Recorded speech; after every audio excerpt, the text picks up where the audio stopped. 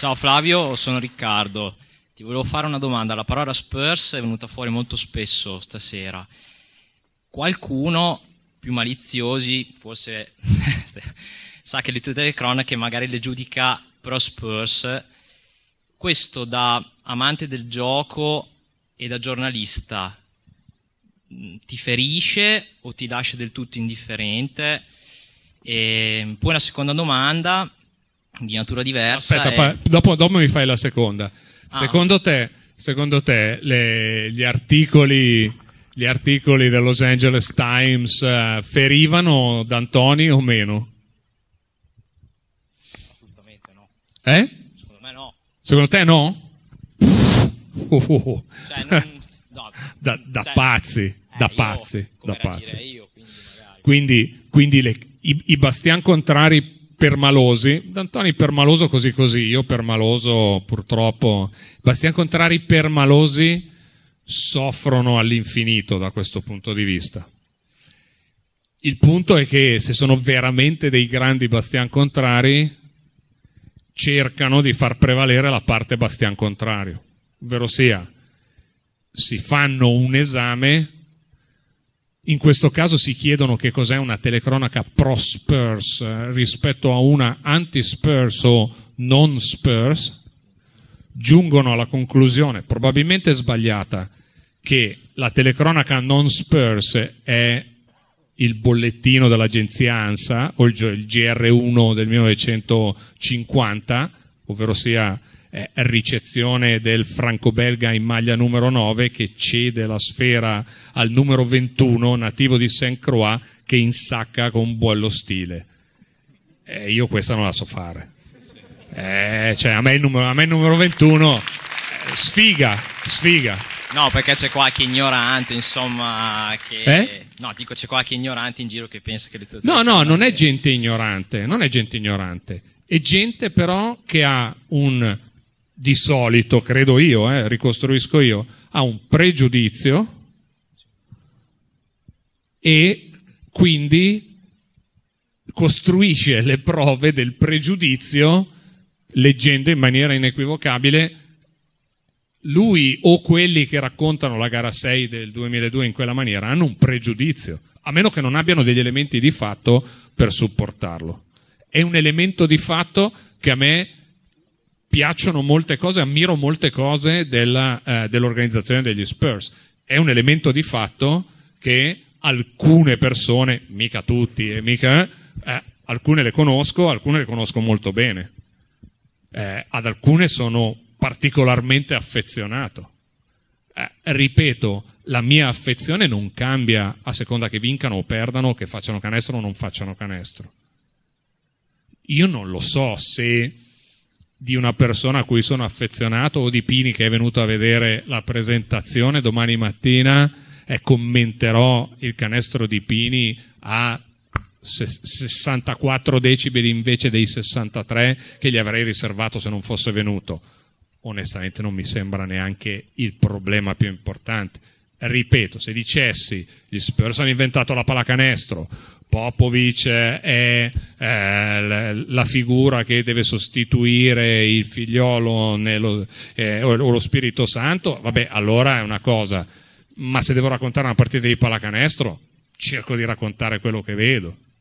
E in più mi tengo il vantaggio di aver avuto la possibilità, anche grazie a questi rapporti, non di penetrare, che è del tutto impenetrabile, ma almeno di intuire qualcosa dietro le cortine di questa organizzazione che due o tre cose nello sport degli ultimi vent'anni le ha fatte rispetto al rischio di usare un decibel in più.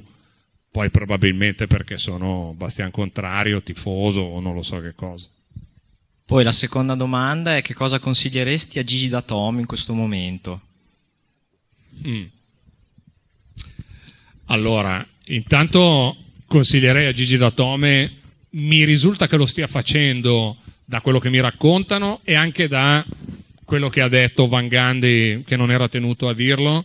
La prima cosa che vi consiglierei è tutte le volte che ha l'occasione di fare qualche cosa su un campo, di farlo al massimo delle sue possibilità.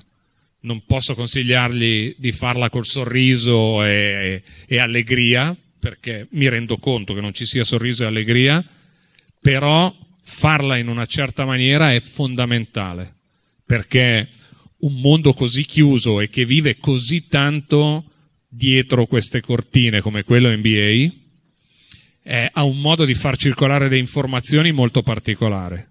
E se tu tiri indietro il sederino, lo sanno tutti dopo un secondo.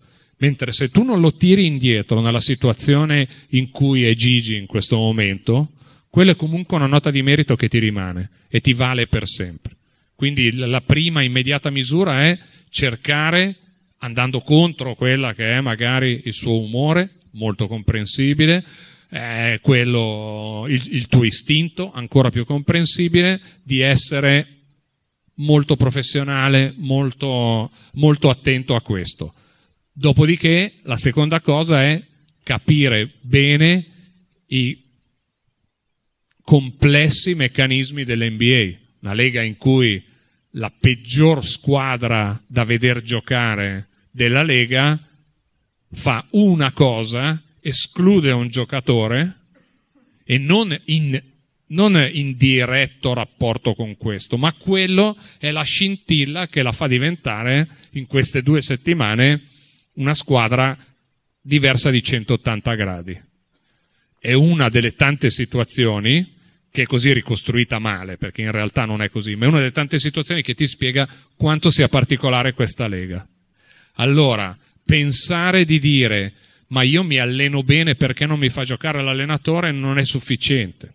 Oppure ma visto che non mi vogliono perché non mi cedono, non è sufficiente, non è quello che fa Datome, ma è per spiegare il senso della cosa. Eh, dire ma che cosa gli costa darmi una chance o cedermi eh, o, o, o, aiutarmi? Eh, non funziona così nell'NBA. Devi star lì, devi star lì, star lì, star lì. Se vuoi veramente l'NBA, questo è sicuramente un, un merito enorme di Bellinelli. Un merito enorme. Eh, devi star lì, star lì, star lì. E se stai lì, stai lì, stai lì, poi è possibile, non è certo, ma è possibile che passi la barca. Se non stai lì, non passa di sicuro. Quindi l'altra cosa che deve fare lui è decidere. Se vuole star lì a rischio di qualsiasi cosa, oppure se invece vuole dire, bene, io ho visto, è andata male, speravo meglio, adesso per la mia carriera eh, preferisco stare in Europa, stare in Italia, smettere di giocare, invento ovviamente, non smette di giocare, ma eh, ecco, prendere una decisione, gli auguro di prendere una decisione basata sulla miglior comprensione possibile di un meccanismo così particolare, che interpretato con i nostri normali metri di giudizio eh, non ti torna tanto bene. Devi usare i loro, altrimenti non lo capisci.